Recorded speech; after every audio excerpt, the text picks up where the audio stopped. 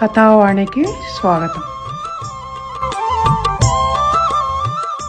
కథావాణి శ్రోతలందరికీ చెప్పాలని ఉందికి స్వాగతం. ఈరోజు మీకు పలుకుబడుల గురించి కొన్ని పలుకులను వినిపించాలని అనుకుంటున్నాను. పలుకుబడి అంటే పరపతి అని అర్థం కాదు ఇక్కడ. ఇవి భాషకు సంబంధించిన ముఖ్యంగా మన తెలుగు భాషకు సంబంధించిన పలుకుబడులు. అవేంటో ఇప్పుడు చూద్దాం. తెలుగు పలుకుబళ్ళ గురించి తెలియని తెలుగు వాళ్ళు ఉండరు. ఎందుకంటే ఇది పలుకుబడి అని తెలియకుండానే రోజుకు ఎన్నో పలుకుబడులు వాళ్ళ మాటల్లో వాడుతూ ఉంటారు కనుక.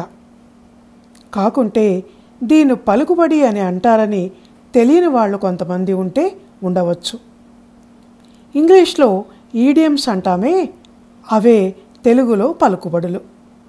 ప్రతి భాషకు ఆ భాషకే స్వంతమైన పలుకుబడులు ప్రత్యేకంగా ఉంటాయి. అవి వేరే భాషలో పలుకుబడులు అనిపించుకోవు.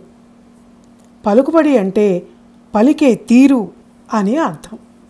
తెలుగు పలుకుబడులు అంటే తెలుగువారు పలికే తీరు అన్నమాట. వాటికే నానుడులు నుడికారం జాతీయాలు అన్న పేర్లు కూడా ఉన్నాయి. నుడి అంటే మాట. నానుడి అంటే అలవాటైన మాటలు. జాతీయాలు అంతే. తెలుగు జాతికి అలవాటైన మాటలు. నిజంగా ఈ పలుకుబళ్ళు ఎంత అందమైనవంటే ఎఫెక్టివ్గా ఒక మాటను అనటానికి ఎవరన్నా అన్నప్పుడు వినటానికి ఇవి భలేగా పనికొస్తాయి. ఎంత ఎఫెక్టివ్గా అంటే ఇలా తప్ప ఇంకా ఎలా చెప్పినా ఈ మాట పవర్ఫుల్గా లేక టచ్చింగ్గా ఉండదు అనిపించేటంత. రసపోషణకు నూటికి నూరు శాతం సూట్ అవుతాయి ఈ పలుకుబళ్ళు. ఇంతకు ఈ పలుకుబళ్ళు ఎక్కడి నుంచి వచ్చాయి? ఎవరన్నా రాశారా? ఇంతకుముందు పండితులు ఎవరైనా అన్నారా? అంటే లేదు అనే సమాధానం చెప్పాల్సి వస్తుంది. ఎవరు ఏ పుస్తకంలోనూ ముందుగా రాసిపెట్టి ఉంచలేదు. కానీ అవి వాడుకలోకి వచ్చాక మాత్రం విరివిగా వాళ్ళ వాళ్ళ పుస్తకాల్లో రాసేశారు. మరి ఎక్కడి నుంచి పుట్టాయి? అంటే జనం నోళ్ళలో నుంచి పుట్టాయి. అది ప్రయత్నించి కాదు అయాచితంగా అలవోకగా. ఆశ్చర్యంగా ఉంది కదా? ఇంకో విషయం చెప్తే మీరు ఇంకా ఆశ్చర్యపోతారు.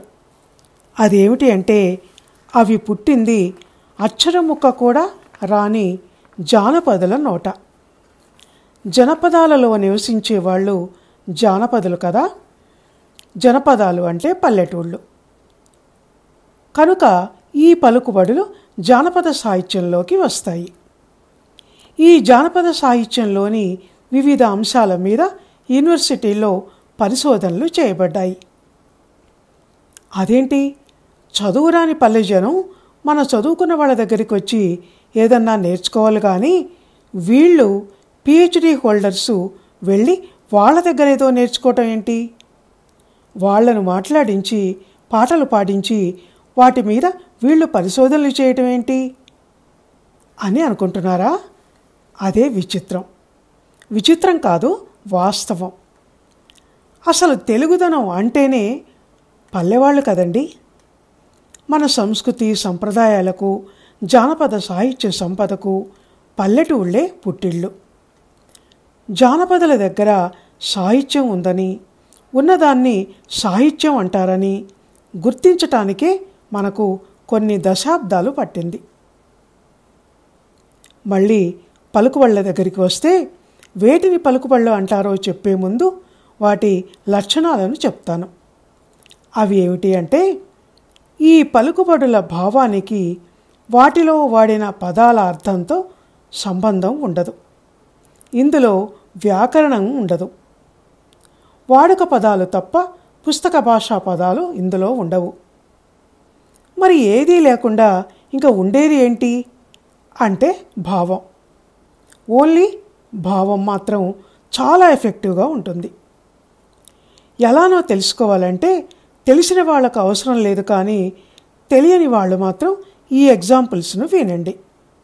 మీకు ఎవరి మీదన్నా బాగా కోపం వచ్చిందనుకోండి దాన్ని ఎక్స్ప్రెస్ చేయడానికి మీరు ఏమంటారు ఎవరైనా అనే మాటలు ఒకటే. అవి తప్ప ఇంకా ఏమనినా ఆ కోప తీవ్రత అలా వ్యక్తం కాదు. ఏమంటారో తట్టిందా మీకు?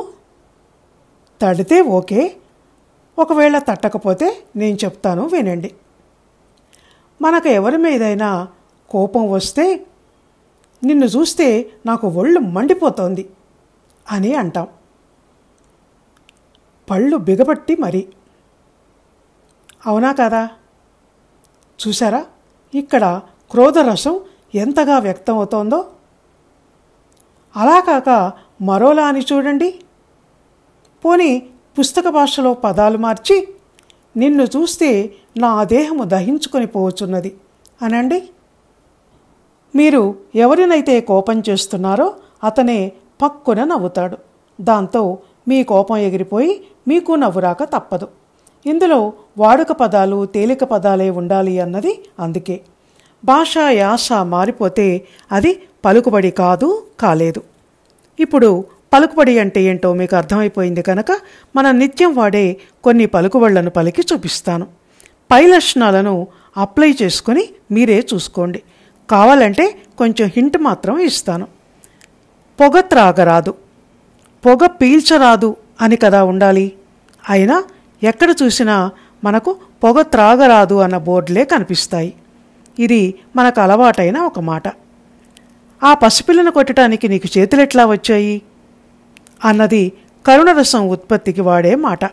చేతులు కొత్తగా రాలేదు పుట్టుకతోనే వచ్చాయి అయినా అలాగే మాట్లాడతాం. ఆ వార్త విన్న దగ్గర నుంచి నాకు కాళ్ళు చేతులు ఆడటం లేదు. ఆడటము అనంటే ప్లే అనే అర్థం. కానీ ఇక్కడ ఆడటము అనంటే టెన్షన్ని తెలియచేయటం. రచనా వ్యాసంగంలో అతను చెయ్యి తిరిగినవాడు. చెయ్యి తిరిగితే ఎవరైనా వికృతంగా ఉంటారు. కానీ ఇక్కడ ప్రసిద్ధుడు అన్న మాటకు చెయ్యి తిరిగినవాడు అన్న జాతీయాన్ని వాడుతున్నాం. కుక్క కాటుకు చెప్పు దెబ్బ టిట్ ఫర్ టాట్ అంటే ప్రతీకారం. అద్దం మీద ఆవగింజ ఇది భార్యాభర్తల కలహాలకు వాడే జాతీయం. క్షణికం అన్న మాటకు దీన్ని వాడతారు. అత్తెసరు బొటాబొటి. నిమ్మకు నీరెత్తినట్టు అంటే పట్టించుకోకపోవటం. నిలువెత్తు దర్పణం అంటే సాక్ష్యం. నేల విడిచి సాము అంటే సాహసం వృధా అవటం. గగన కుసుమం అందనిది ముక్కు పచ్చలారని అంటే చాలా చిన్నపిల్ల అన్నమాట. అక్కడ ముక్కు లేదు పచ్చదనము లేదు. అయినా అలాగే మాట్లాడతాం. మట్టి కరిపించటం అంటే ఇబ్బంది పెట్టడం నాశనం చేయటం. వంటింటి కుందేలు అంటే అక్కడ వంటిల్లు లేదు కుందేలు లేదు. అందుబాటులో ఉండేదాన్ని మనం అలా వాడతాం. ముసలి కన్నీరు అంటే దొంగ ఏడుపు. బెల్లం కొట్టిన రాయి అంటే ఉలుకు పలుకు లేకుండా స్పందించకుండా ఉండేవాడిని ఆ అలా మాట్లాడతారు. ఇవ్వండి పలుకుబడులు అంటే ఈ లెక్కన మీకు తెలియకుండానే రోజు మీరు ఎన్ని పలుకుబళ్ళను వాడుతున్నారో మీ సంభాషణలలో మాట్లాడుతున్నారో లెక్క చూసుకోండి. ఇవి మన తెలుగువారి సాహిత్య సంపద. భాషకు అందాన్ని పుష్టిని నిండుతనాన్ని ఇవ్వగల సహజసిద్ధ సౌందర్యం వీటిలో ఉంది. అలాంటి దాన్ని వదిలిపెట్టి అవసరం ఉన్నా లేకపోయినా ఇంగ్లీష్ పదాలను విరివిగా వాడి భాషను సంకరం చేసేసి మన అందమైన తేనెలూరే తెలుగు భాషను అచ్చతెనుగు ఆంధ్ర భాషను నిరాదరణ చేయకండి. మీ అందరికీ నా మరొక వినతి ఏమిటి అంటే మీరు ఎవరితోనైనా మాట్లాడేటప్పుడు రచనలు చేసేటప్పుడు విరివిగా తెలుగు పలుకుబళ్ళను వాడండి. అప్పుడు అది ఎంత అందంగా ఉంటుందో మీకే తెలుస్తుంది. ఈ విషయాన్ని చెప్పటానికే నేను ఈరోజు చెప్పాలని ఉందికి ఈ టాపిక్ని ఎంచుకున్నాను. విన్నందుకు మీ అందరికీ ధన్యవాదాలు.